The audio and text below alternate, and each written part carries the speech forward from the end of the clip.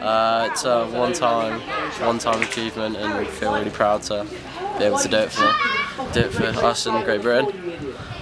Uh, we had we had about six training sessions over the course of the winter, and then we got here five days early and trained every day, play over an hour, and now uh, ready for tomorrow.